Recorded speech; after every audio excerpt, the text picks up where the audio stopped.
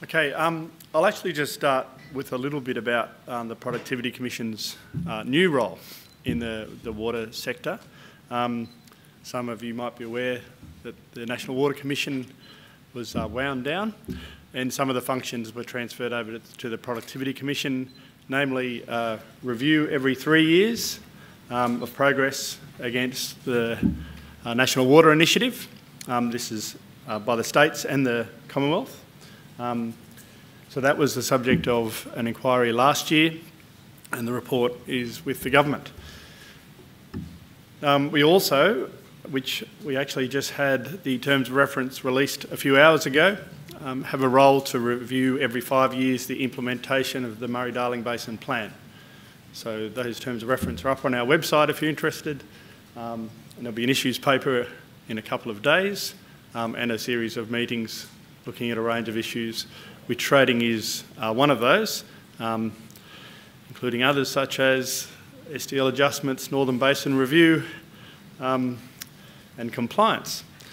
So we're going to have a, a, relatively busy year, I would say.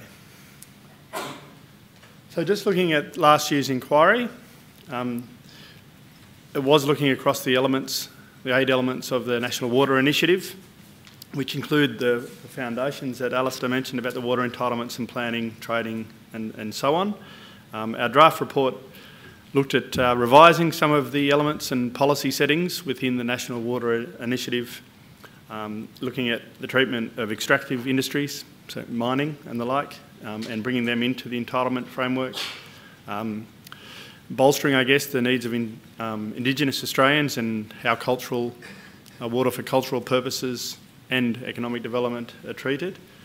Um, and also a significant um, focus on urban water, environmental water management, and uh, building or investing in new infrastructure in terms of government investment. A, a, couple of those do have trading elements, particularly urban water. Um, there's still places and barriers where urbans can't trade with rural. Um, Canberra is one of those in terms of uh, trade between New South Wales, Murrumbidgee and Canberra. Um, there is a work program to look at that, but the barrier remains. Uh, the other barriers have been removed. For example, Adelaide has bought, this SA Water has bought entitlements out of Victoria um, over the last few years.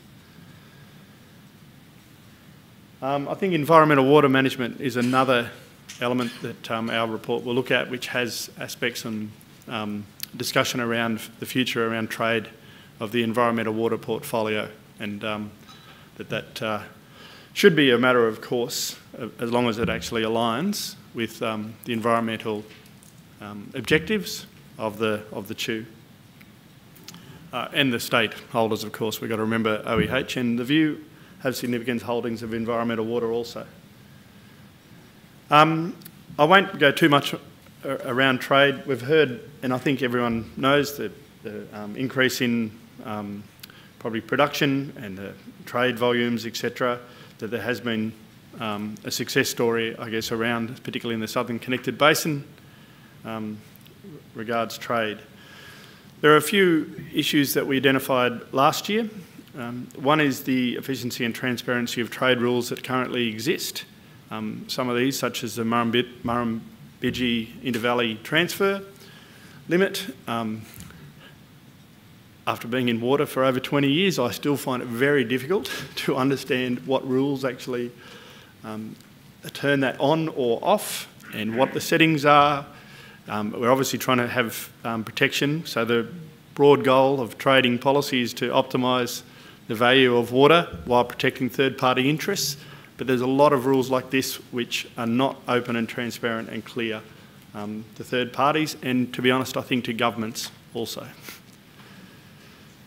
So um, there is some work also in the service standards for trade approvals and transaction costs which were set uh, well in the past with different technologies um, in place and we think they should be revisited also. These are the transaction times uh, and the costs associated, associated with trade approvals and the like. And I'll skip through some of the reliable information. I think we'll have a discussion about those.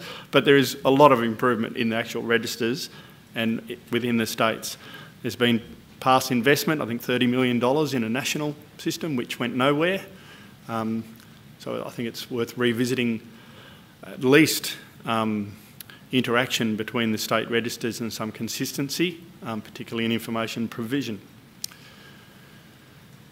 Um, just touching on this year, the Murray-Darling Basin Authority does have a role through the plan in actually overseeing trade across the basin. And there's a basin plan water trading rules, which are overseen by a working group.